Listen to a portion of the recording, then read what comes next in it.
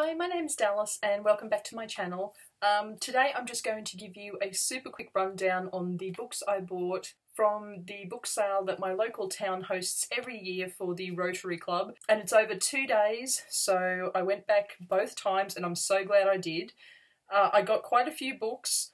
I did find some Stephen Kings but I'll do those last because if you've seen my Instagram post I made the most spectacular find, so I'll get to that later. But to start with, I will just show you a quick glimpse of the book. I won't talk about them because I've got quite a few, so um, might as well get this ball rolling. So first off is, what is it? The Guest Cat by Takashi Hirade. I have no idea, I probably absolutely butchered that. Peter Straub in the Night Room. Not That Kind of Girl, Lena Dunham. Yes Please, Amy Poehler. First edition of Clive Barker, The Great and Secret Show. And a first edition of Jeffrey Eugenides, Middlesex. Absolutely love this cover. Dennis Lehane, Shutter Island. Peter Straub, Mystery. Tony Hillerman, The Blessing Way. Tony Hillerman, The Listening Woman. Robert Weinberg, A Modern Magician. H.G. Wells, The First Men in the Moon. Naomi Novik, His Majesty's Dragon. Anthony Burgess, A Clockwork Orange, Lorna Doone, R.D. Blackmore. Okay, I'm going to be doing a lot of editing around this. Elizabeth George, In Pursuit of the Proper Sinner, 84 Charing Cross Road, Helene Hanff. Agatha Christie, A Murder is Announced, Agatha Christie Cards on the Table, Agatha Christie Elephants Can Remember, Agatha Christie collection of Sparkling Cyanide, The Secret of Chimneys, and Five Little Pigs. Almost forgot this one, Grave Surprise by Charlaine Harris. Okay, now we get to the Stephen Kings that I managed to score. On the first day, I found, these are not in order anyway, Wizard and Glass, Song of Susanna, The Dark Tower, Drawing of the Three, this is volume 2, this is a first edition, and it has illustrations. X Library, oh, Wolves of the Calla, and this is also a UK um, first edition. This one also has colour illustrations. This lovely UK edition of From a Buick 8. Now we are down to my final two Stephen King finds. Danse Macabre by Stephen King, uh, and it actually matches my night shift cover. When I went back on the Sunday, this was literally the first book I pulled out of a pile. I'd been through two tables, hadn't picked up everything, and then I saw this book, I saw the spine, and it was worth the 20k drive back to the book sale for the second day because I now have in my hot little hands a really excellent condition edition of the Bachman books with all four stories and I am so happy because I had been eyeing this off on AbeBooks and um, like Amazon Marketplace. The books themselves might have been reasonable if you could find one, but the postage to Australia was just a shocker. So um, I now have it, and it cost me the princely sum of $2.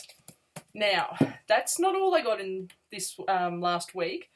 I actually found three books in a like a bargain bin at my local Big W, and they are actually surprisingly the first three in a series. So I'm going to try them out. They're by who are they by?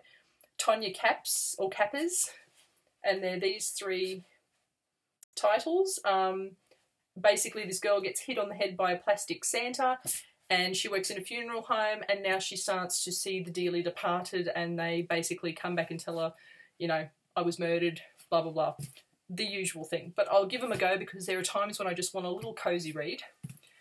And once again, finishing off on some Stephen Kings, I received my Hodder edition of Misery in the mail, as well as Hearts and Atlantis. That was all that I got this week book-wise. Oh, wait a minute, I'm lying. Hang on a sec. Okay, I am back. Um, on Friday, I finally found a copy of Secrets in Death by J.D. Robb. I think this is book 45 in the In Death series. Read it on Friday and, um, whoops, losing my receipt. Flew through it on Friday. Was really, oh, it was so good. Um, the last couple of books in this series have been sort of love them or leave them.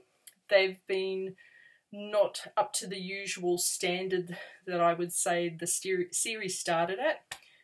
But with this one, the mystery was intriguing. Um, The characters, as always, are really well done.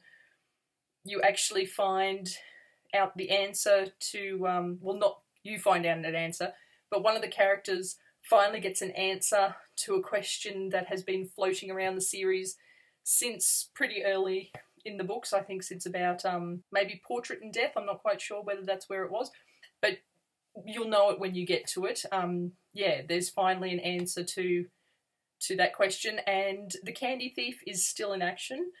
Actually wish we would see more of the Candy Thief because that's quite an amusing little, not even a subplot, it's just something that floats through the books more in the earlier books in the series. But so enjoyed this. I might do like a mini, you know, 90 second review sort of thing, cram everything once I get my thoughts in order about it. Okay, I think that's everything now. So I'm off to go edit this. Um, I'm still rearranging my bookshelves. I've dismantled one of the, the bookshelves in the spare bedroom, hauled it into my bedroom, and I'm now in the process of rearranging bookshelves. Picked a crappy time to do it because I've actually got the electrician coming in in about two days, so everything has to be back on the shelves, rearranged so that they can actually get to the PowerPoints and things like that. So I'll love you and leave you for the moment, and until I see you next time, happy reading.